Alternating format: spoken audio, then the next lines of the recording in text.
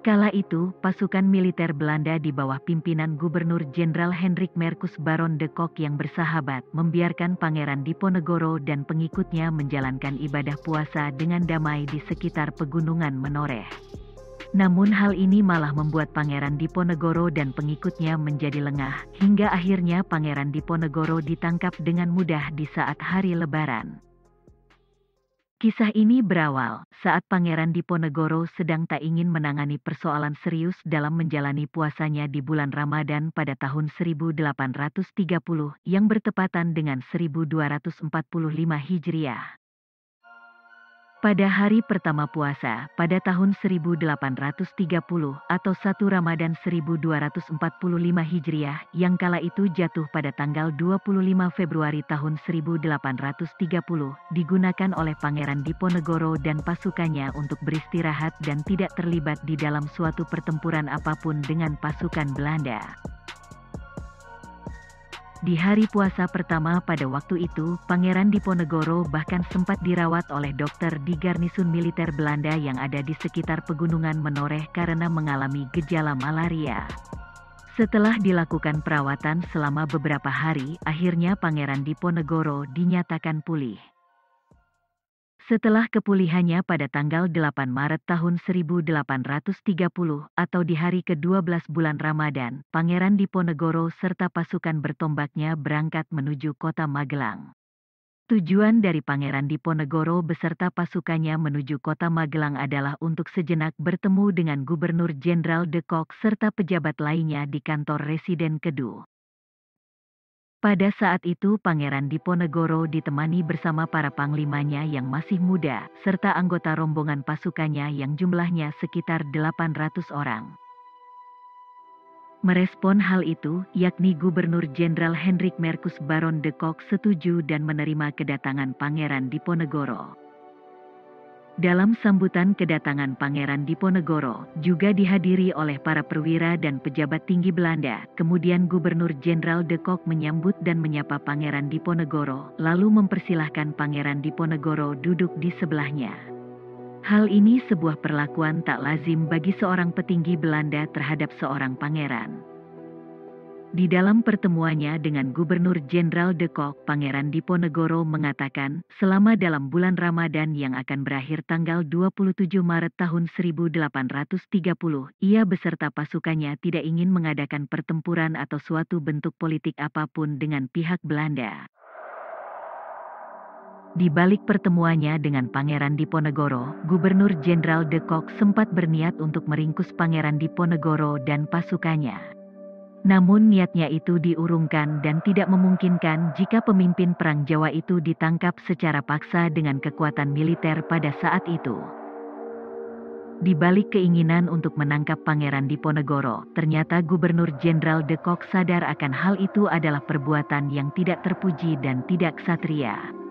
Hal ini karena Pangeran Diponegoro telah datang ke Magelang dengan niat baik untuk bersilaturahmi. Setelah pertemuannya dengan Gubernur Jenderal de Kock, kemudian Pangeran Diponegoro dan pengikutnya pergi menuju ke wilayah Matesi. Di sana Pangeran Diponegoro beserta pasukannya berkemah di tepi Kali Progo. Dalam kepergiannya Pangeran Diponegoro ke wilayah Matesi, membuat Gubernur Jenderal de Kock merasa curiga dengan siasat Pangeran Diponegoro. Lalu Gubernur Jenderal de Kock melalui Residen Franz Gerhardus Falk mengirim seorang mata-mata, yakni Tumenggung Mangunkusumo yang ditempatkan ke rombongan Pangeran Diponegoro. Di dalam memata-matai Pangeran Diponegoro, terdengarlah berita bahwa Pangeran Diponegoro bersikeras agar diakui sebagai Sultan di bagian selatan Jawa.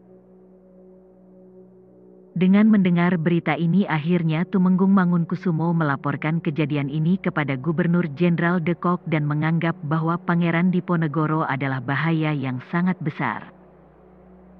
Hari demi hari di bulan Ramadan telah dilalui oleh Pangeran Diponegoro beserta pengikutnya pada tanggal 25 Maret tahun 1830 atau hari ke-29 di bulan Ramadan tahun 1830 menjelang Lebaran, Gubernur Jenderal de Kock mengutus Letnan Kolonel Duperon dan Mayor Ave Michels untuk menambah pasukan dan penjagaan yang ketat di sekitar kantor Residen Kedu. Pasukan yang dipersiapkan mencapai dua kali lipat banyaknya untuk mengamankan penangkapan Pangeran Diponegoro jika datang nanti.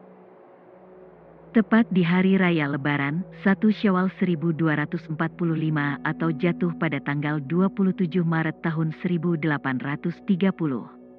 Tanpa sedikit pun rasa curiga di hari kemenangan umat Islam pada waktu itu, Pangeran Diponegoro mengadakan pertemuan dengan pihak Belanda. Ia mendatangi kembali Gubernur Jenderal de Kock. Kedatangannya disambut oleh Residen Falk dan mempertemukannya dengan Gubernur Jenderal de Kock. Pertemuan itu diperkirakan menjadi momentum tawar-menawar soal mengakhiri Perang Jawa dan keinginan adanya kesultanan di selatan Pulau Jawa. Ketika Pangeran Diponegoro masuk ke dalam tempat perundingan, ia didampingi ketiga putranya, dua punakawan beserta penasihat agama.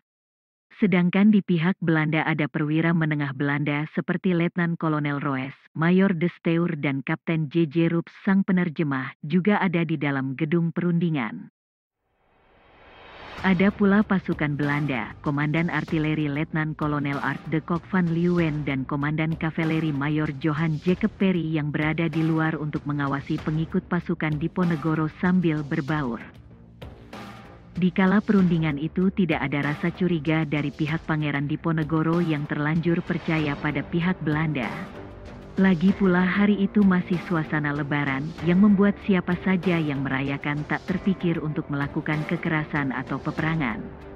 Namun, Pangeran Diponegoro dan pengikutnya lupa jika Belanda adalah musuh besar mereka. Di dalam perundingan tersebut sepertinya menemui jalan buntu, namun secara tiba-tiba Gubernur Jenderal de Kock mengutarakan kepada Pangeran Diponegoro bahwa Pangeran tak perlu kembali ke Matesih dan tinggal di Kresidenan saja. Hal ini yang membuat Pangeran Diponegoro menjadi bingung dengan ucapan Jenderal Belanda itu. Dari pembicaraan Gubernur Jenderal de Kock inilah yang membuat Pangeran Diponegoro merasa curiga. Lalu Pangeran Diponegoro membalas dengan ucapan, saya hanya sebentar menemuimu untuk kunjungan ramah tamah dan silaturahmi, sebagaimana adat Jawa di hari lebaran, di mana yang muda pergi mendatangi rumah kerabat atau saudara mereka yang lebih sepuh untuk meminta maaf atas semua kesalahan yang dilakukan. Dalam hal ini engkau jenderal adalah pihak yang lebih tua, ucap Pangeran Diponegoro sebagaimana yang telah diniatkan oleh Gubernur Jenderal de Kock sebelumnya akan menangkap Pangeran Diponegoro, tentu tak akan mempengaruhi alasan apa pun yang telah diutarakan Pangeran Diponegoro saat itu. Gubernur Jenderal de Kock berdalih, alasan saya ingin menahanmu karena saya ingin membuat semua persoalan antara kita menjadi jelas hari ini. Pangeran Diponegoro makin heran dengan orang-orang Belanda yang ia datangi untuk lebaran, justru bicara masalah politik yang agak berat, sementara Pangeran Diponegoro belum siap untuk bicara masalah politiknya. Dalam hal ini Pangeran Diponegoro melihat Jenderal de Kock begitu ingin menangkapnya, namun Pangeran Diponegoro meyakinkan kembali jika ia tak ingin apa pun kecuali jadi kepala agama Islam di Jawa dan gelar Sultan. Apa yang terjadi setelahnya adalah Pangeran Diponegoro kemudian ditangkap oleh pasukan Belanda dan dipisahkan dari pengikutnya. Setelah penangkapan pada bulan Mei hingga Juni waktu itu yang menjadi tahun terakhir Pangeran Diponegoro merayakan Hari Raya Lebaran di Tanah Jawa, Pangeran Diponegoro kemudian diasingkan ke Sulawesi oleh Belanda. Hingga tahun berikutnya, puasa dan lebaran Pangeran Diponegoro harus dihabiskan di Makassar dan Manado. Pangeran Diponegoro wafat di Makassar pada tanggal 8 Januari tahun 1855 dan semoga sejarah ini dapat bermanfaat.